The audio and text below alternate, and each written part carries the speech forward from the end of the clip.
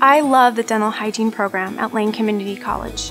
In the healthcare field, I get to help people, and it feels like a dream to be in this career. Working in the dental hygiene field, I can have a satisfying job and still have time to raise a family.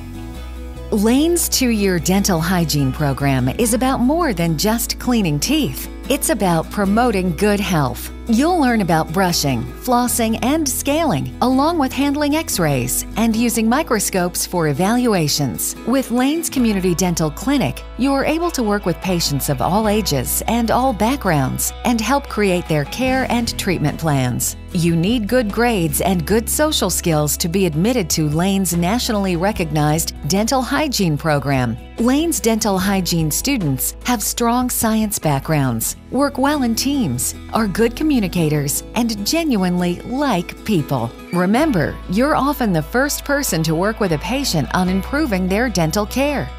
It's satisfying training because everybody's mouth is different, and I never expected to make that much of a difference. But I've had patients thank me for my work. The Dental Hygiene Program at Lane Community College. Start your career here.